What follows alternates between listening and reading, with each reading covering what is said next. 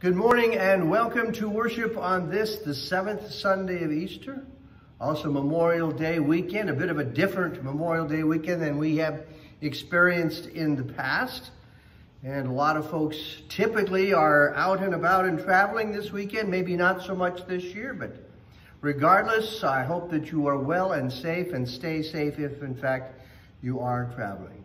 I want to thank Linda Gravine for being with us here uh, to accompany us in the uh, hymns today, so I appreciate that. And on our prayers, let's pray, continue to pray for David Hovey as he recovers from his hospital stay and rehabilitation, for Harriet Warner as she is currently in rehabilitation, Lori Prochnow, who's undergoing a series of medical tests, and Patsy Askew, who is at home recovering from her hospital stay and still struggling with a few health issues. So keep her in our prayers as well. So we begin our worship service with confession and forgiveness. In the name of the Father, and the Son, and the Holy Spirit. Amen. Gathered as a faithful yet imperfect community in Christ, let us confess our sin. Gracious God, in Christ Jesus you come among us as light shining in the darkness. We confess our failure to welcome this light. Forgive us and renew our hope so that we may live in the light of your grace and welcome the truth of Christ the Lord. Amen. I bring you good news of great joy for all the people. To you is raised a Savior, Christ the Lord, in whom all your sins are forgiven, in the name of the Father, and the Son, and the Holy Spirit. Our gathering song this morning is, coincidentally enough, Gather Us In, hymn 532, and we'll sing two verses of that hymn. 532, Gather Us In.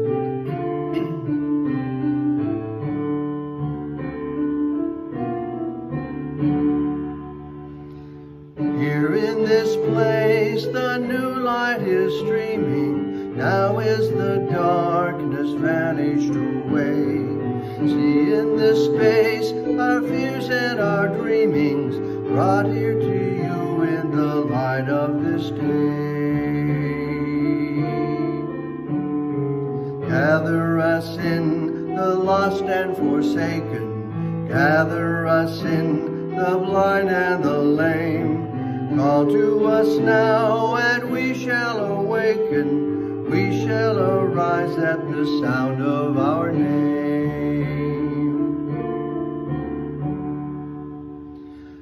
Not in the dark of buildings confining, not in some heaven light years away. Here in this place the new light is shining, now is the kingdom and now is the day. Gather us in and hold us forever. Gather us in and make us your own. Gather us in, all peoples together. Fire of love in our flesh and our bone.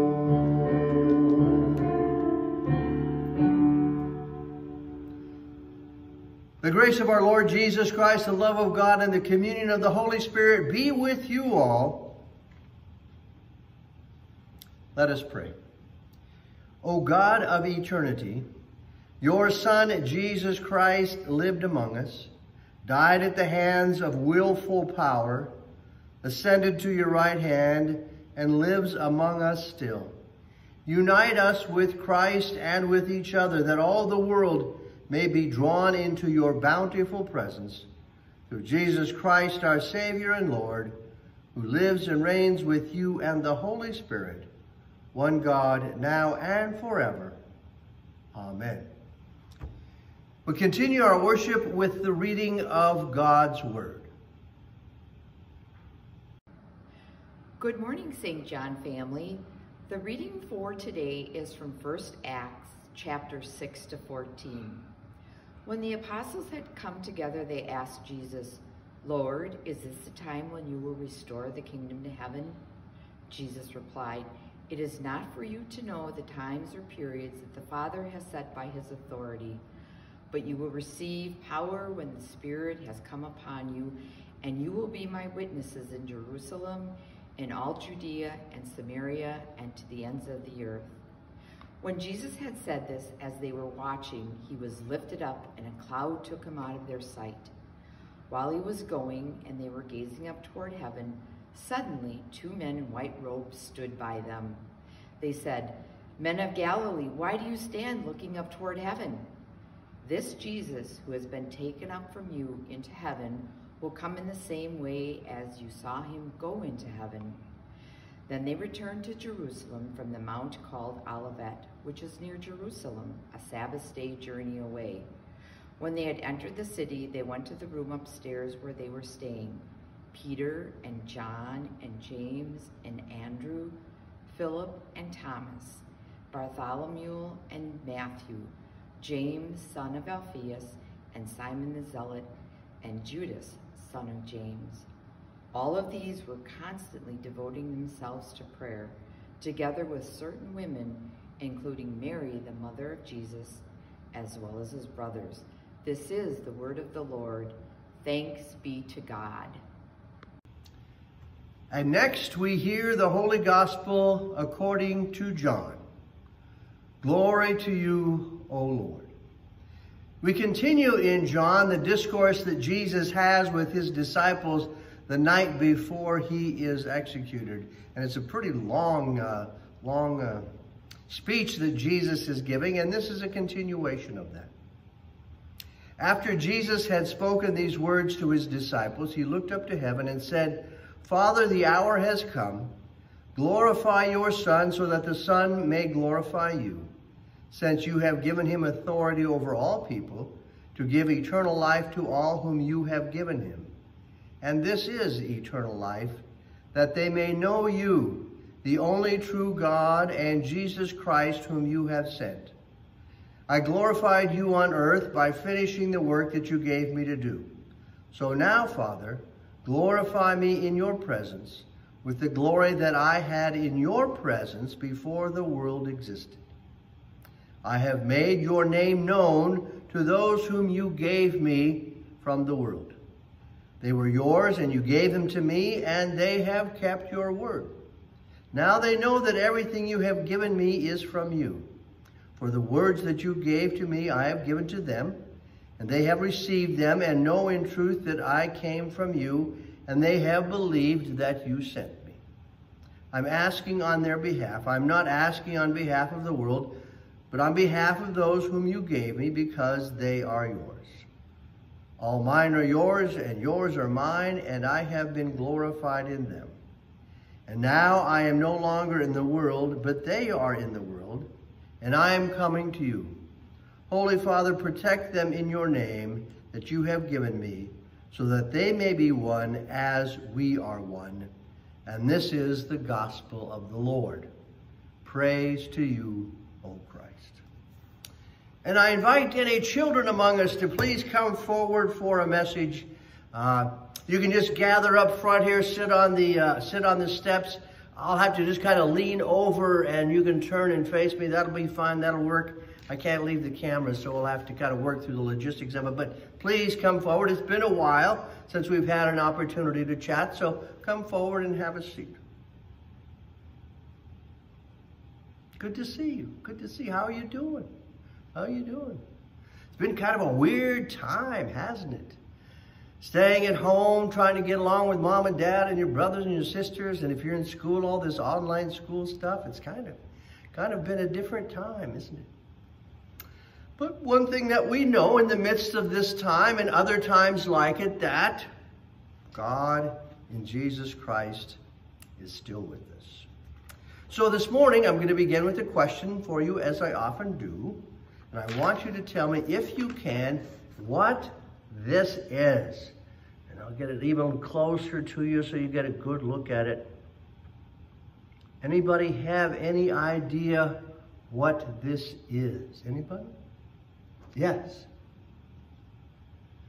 A slot car track from the 1960s. Okay, that's an interesting, rather obscure observation, but no, sorry, not correct. Anybody else have any ideas what this is? One more quick look. Yeah? Yes? A figure eight. It is a figure eight, but it's a special figure eight. As you look at it, it is a figure eight that has no beginning and it has no end. And this is the symbol for infinity. Infinity, which means kind of the same thing as eternity. It's measureless, it's timeless, it has no beginning, and it has no end. And in today's Bible story that you just heard, Jesus was talking to us, wasn't he, about eternity. And as Christians, we often, when we think of eternity, if we think of things that are infinite, that have no beginning or have no end, we think about eternal life. So what exactly is eternal life? And we'll talk about that a little bit more in the sermon today. But Jesus tells us pretty basically that eternal life is knowing the love of God. And just like this symbol, God's love for us is infinite. You can't measure it. It has no beginning and it has no end. Sounds pretty good, doesn't it? So, as you go out into this week, whatever this new one looks like for you, keep that in mind. And I know that things are different. They're, they're more difficult than they probably have been before. But remember that even in the midst of times like these, God's infinite love is always with you. Let's pray, and you can repeat after me. Dear Lord, even though times are different, we thank you for this day. And help me, Lord, to know that your love has no end. In Jesus' name we pray. Amen. Well, thank you for coming up. I appreciate it. You can head back to wherever you were sitting, and we'll continue with our sermon for the day, which pretty much the same message that I just shared with the young people. Anybody have any slot cars in the 1960s? Anybody have any idea what I'm talking about? Probably not. Nobody's as old as I am. But the question that I asked of the young people, and I'm going to ask you, is what is eternal life? The standard definition of that seems to be that eternal life is what happens to us after we die. Specifically and hopefully what happens to us after we die and go to heaven.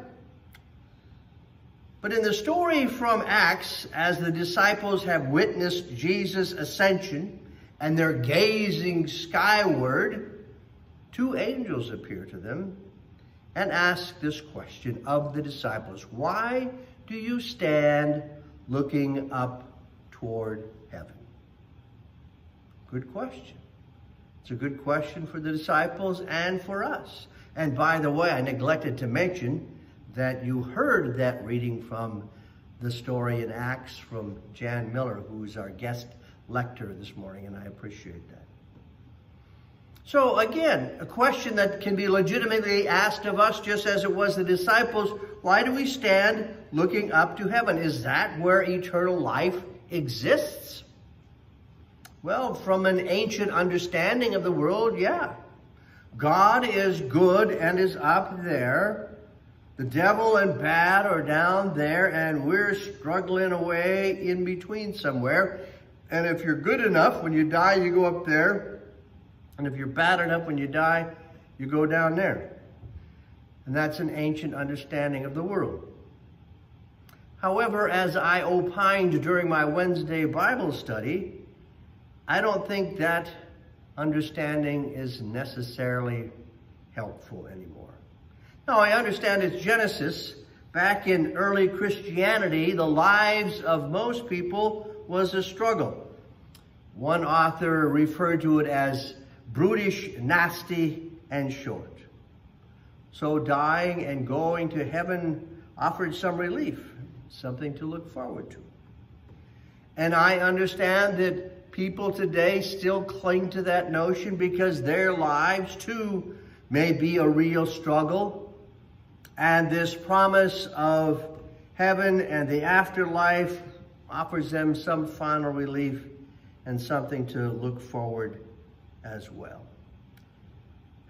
Nonetheless, I still think, and you may not agree with me, but I think this is an outdated understanding of our relationship to life in general and our relationship to God in specific. If nothing else, if nothing else, I invite you this morning to take this opportunity to just think about it a little bit. Think about this whole idea of eternal life. As I've said before, God is timeless. God is infinite. God is eternal. God is timeless. But our understanding of God and our articulation of that understanding can never be timeless because we are perfect, imperfect rather, human beings. But you say, who cares, Pastor Dan, what you think? Well, tell you what Jesus thinks. Let's hear what he has to say as was recorded in his prayer to his Father in the Gospel of John that we just heard. Now, Jesus is speaking in the third person, referring to himself when he says in this prayer, Since you have given him authority over all people, to give eternal life to all whom you have given him, and this is eternal life, that they may know you, the only true God, and Jesus Christ whom you have sent. And this is eternal life, says Jesus, that they may know you. So what does that mean? Well, I think in other words, it means that eternal life is knowing God revealed to us as Christians in Jesus Christ. Here again, what Jesus has to say just a few verses ahead in the Gospel of John. I made your name known to them. Again, he's still in this prayer to God. I made your name known to them so that the love with which you have loved me may be in them. I have made your name known to them, Jesus says, so that the love with which you have loved me may be in them, so that you may know love which is infinite, love which is eternal, love which has no beginning and no end, honest and genuine love for yourself for others, and love from and for your God. So, we end where we begin. What is eternal life? Is eternal life living forever up in some place in the sky? Could be. I don't know for sure, and neither do you. However, I'm really not sure how helpful that uh, it is to nurture that notion of an understanding of life and God and the universe. Maybe, just maybe, Jesus was right when he said, and this is eternal life, that they may know you, the only true God, and Jesus Christ whom you have sent. Amen. We will continue our worship by singing two verses of the hymn of the day, Son of God, Eternal Savior, which is ELW 655.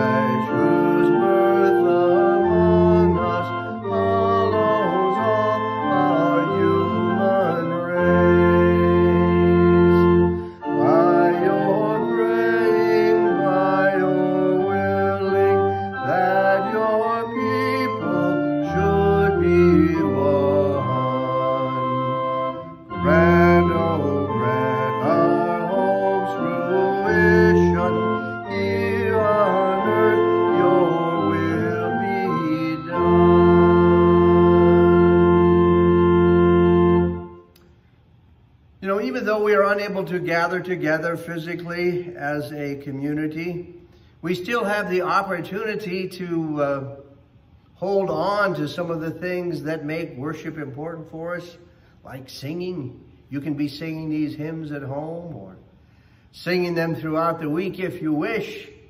Uh, we can be reading scripture and trying to understand more of what God means for us in our lives, and we can pray.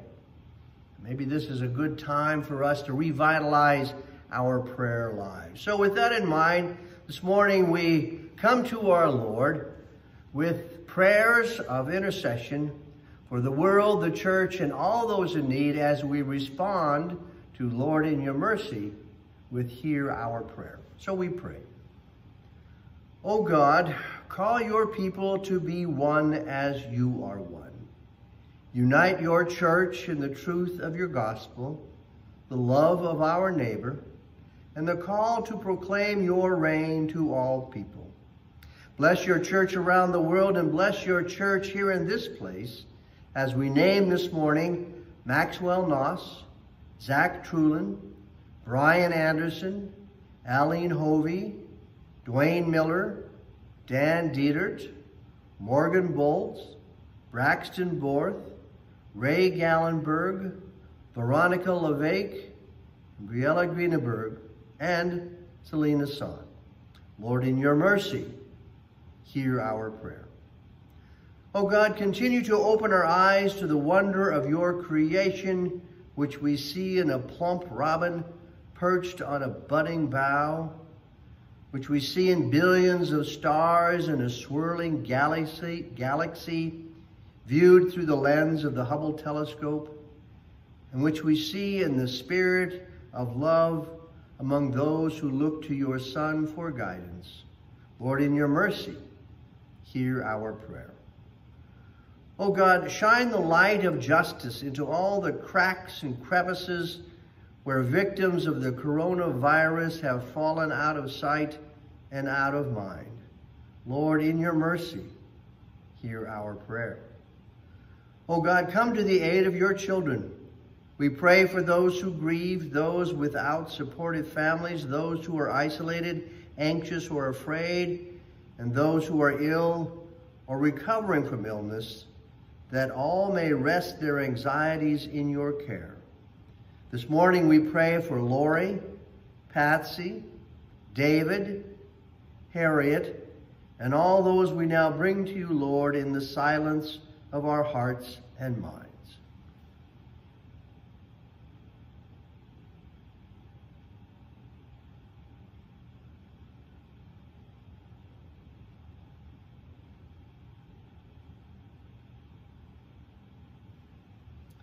Lord, in your mercy, hear our prayer. O oh God, we are grateful for all those who gave their lives in service to this country. Let us pay our respects to them by honoring this nation, not with the casual ease of trite cliches and self-centered agendas, but rather through genuine care and participation for the common good. Lord, in your mercy, hear our prayer. Oh God, help us to trust in the reality of eternal life, life which begins here and now and continues in a connection to the universe which abides forever. Lord, in your mercy, hear our prayer. With bold confidence in your love, gracious God, we place all for whom we pray into your care through Christ our Lord. Amen. Peace of Christ be with you always. Continue our worship with our offering. And again, I want to thank you very much for your continuing support of St. John financially and with your time and talents and otherwise. I do, it's tough. It's tough when we can't be together and the church ends up kind of being this ethereal thing out there, but we're still here. We're still a faithful community in Christ, and I appreciate your continuing support. And we pray. Giving, Lord, our ordinary gifts sometimes seem small in the grand scheme of things, but you make of them an abundance, just as you do with our lives, So feed us again, Lord, at this table that we may be strengthened through Jesus Christ. Amen. The Lord be with you. Lift up your hearts. Let us give thanks to the Lord our God.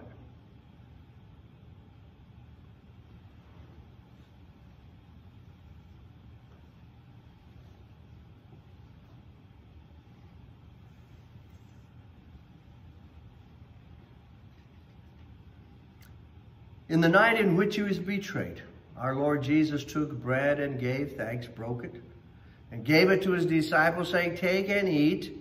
This is my body given for you. Do this for the remembrance of me. Again, after supper, he took the cup, gave thanks, and gave it for all to drink, saying, This cup is the new covenant in my blood shed for you and for all people for the forgiveness of sin. Do this for the remembrance of me. Our Father, who art in heaven, hallowed be thy name. Thy kingdom come. Thy will be done on earth as it is in heaven. Give us this day our daily bread, and forgive us our trespasses, as we forgive those who trespass against us and lead us not into temptation, but deliver us from evil. For thine is the kingdom, and the power, and the glory, forever and ever. Amen. Take and eat. This is the body of Christ given for you.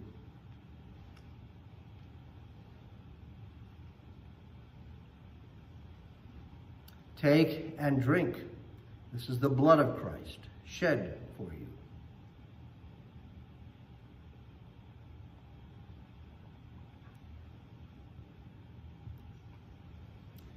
The body and blood of our Lord Jesus Christ strengthen you and keep you in his grace.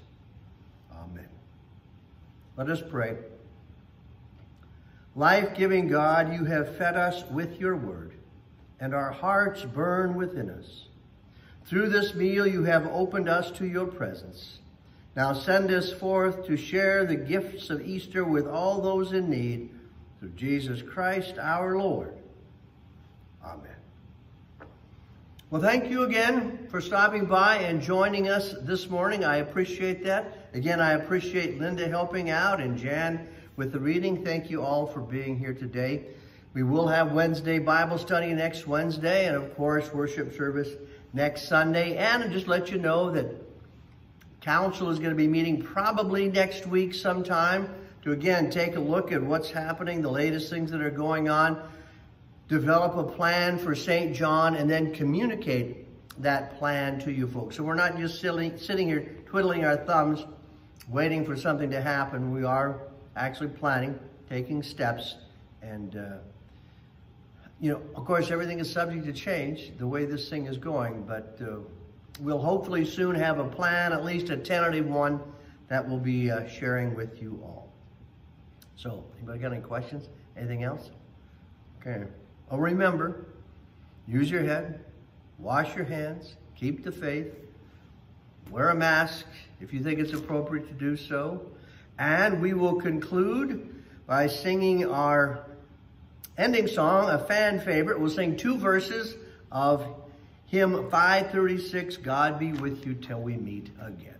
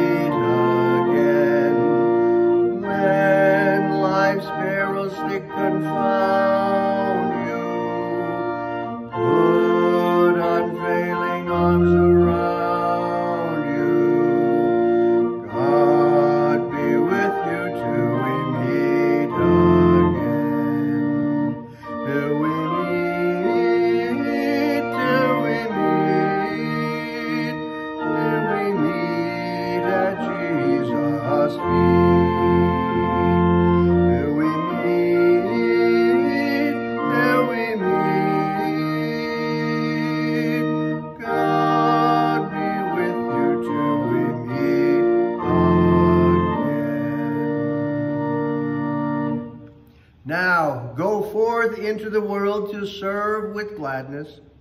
Be of good courage, hold fast to that which is good. Render to no one evil for evil. Strengthen the faint-hearted, support the weak, help the afflicted, honor all people, love and serve God, rejoicing in the power of the Holy Spirit. Thanks be to God. Amen.